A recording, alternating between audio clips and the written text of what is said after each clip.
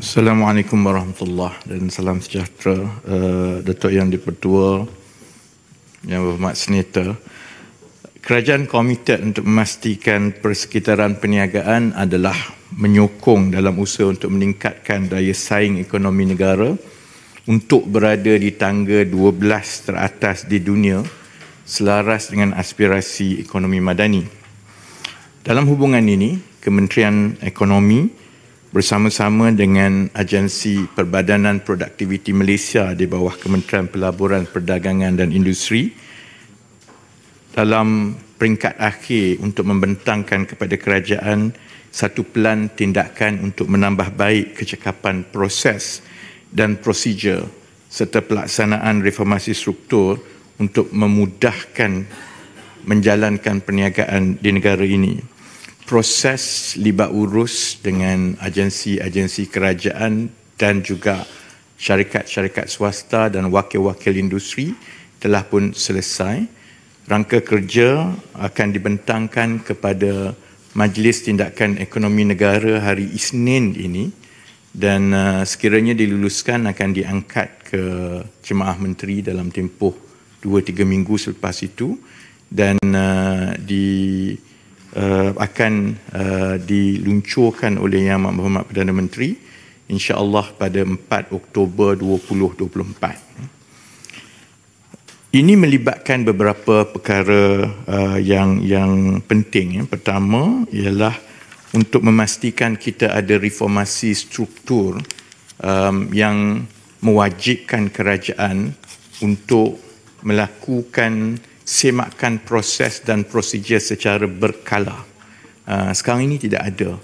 Jadi sudah tentu daripada satu tahun ke satu tahun um, akan ada perkembangan baru dan proses baru dan prosedur baru. Jadi sudah tentu um, dia akan terus bertambah.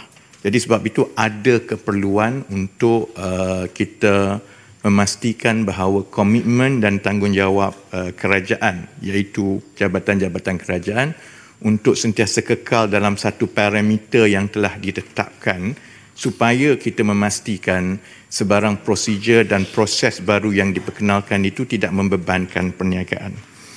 Dan um, itu akan melibatkan um, kerajaan mengenal pasti akta, pekeliling dan garis panduan yang memerlukan semakan segera selaras dengan perkembangan ekosistem perniagaan dan pelaburan dan rangka kerja ini yang akan diberi nama siap niaga um, akan diangkat ke peringkat tertinggi uh, dan itu akan memudahkan kerajaan untuk memastikan proses ini berlaku dengan sekata dan selari di semua jabatan. Dan um, tanggungjawab ini akan diberikan kepada pasukan petugas khas pemudah cara perniagaan ataupun pemudah yang mana yang berhormat senator juga adalah salah seorang anggotanya. Dan uh, ini adalah platform tertinggi kerjasama antara sektor awam dan swasta.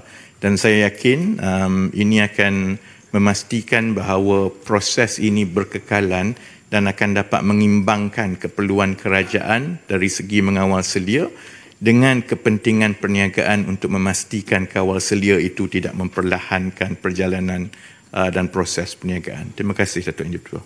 Terima kasih soalan tambahan Tan Sri. Soalan tambahan. Terima kasih Datuk Yang Ketua.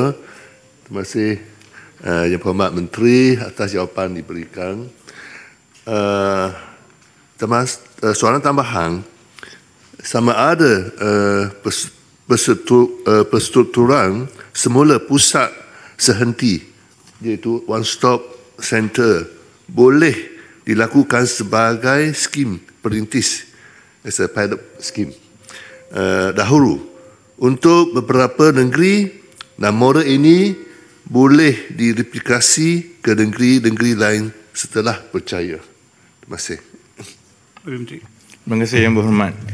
Um, saya ingat Yang Berhormat Senator merujuk kepada One Stop Center yang beroperasi di peringkat kerajaan tempatan Uh, dalam uh, proses kebenaran merancang kerana itu adalah satu proses yang selalu menjadi um, igawan kepada perniagaan eh. dan uh, dia bergantung kepada uh, PBT PBT ada PBT yang cekap yang boleh uh, memastikan proses kebenaran merancang itu diluluskan dalam tempoh antara 40 ke 60 hari. Ada yang boleh sampai mencapai 7-8 bulan. Uh, di peringkat kerajaan dan pemuda, sebenarnya kita sudah pun ada uh, satu senarai ranking yang menyeraikan semua PBT dan kecekapan mereka. Uh, masalah strukturnya Datuk Yang Dipertua ialah sebenarnya kerajaan persekutuan tidak ada kuasa kepada PBT-PBT ini. Kerana mereka adalah kerajaan tempatan yang mempunyai punca kuasa sendiri dan tidak tertakluk kepada arahan daripada kerajaan persekutuan. Sebab itu saya sebut dalam rangka kerja siap niaga, uh, kerajaan bercadang untuk mewujudkan satu ekosistem dengan izin carrot and stick.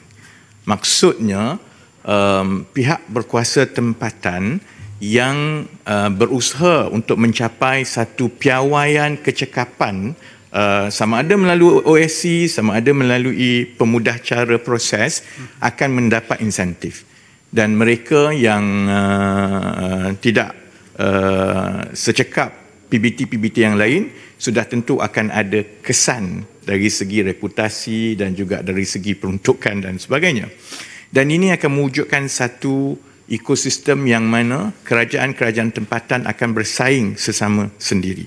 Dan ekosistem ini melalui uh, satu dasar dan juga pewujudan uh, mekanisme itu uh, insya-Allah akan membantu kita memastikan PBT-PBT di seluruh negara mempunyai motivasi untuk mereka memudah cara perniagaan supaya mereka berada di dalam parameter nasional. Uh, situasi itu tidak ada sekarang. Jadi dengan arahan yang tidak di, boleh diberikan, dia bergantung kepada PBT masing-masing. Dan saya ingat yang berhormat senator, bila perkara itu berlaku, maka bolehlah kerajaan persekutuan berunding dengan PBT-PBT ini supaya kecekapan mereka itu berada dalam satu piawai dan akan uh, selaras di seluruh negara. Berbeza dengan sekarang yang mana PBT masing-masing mempunyai proses masing-masing dan kecekapan masing-masing yang akan ada kesan kepada usaha negara untuk membawa lebih banyak pelaburan kerana perkara ini adalah perkara yang selalu ditimbulkan oleh pelabur-pelabur. Terima kasih Dato' Yang Dipertua.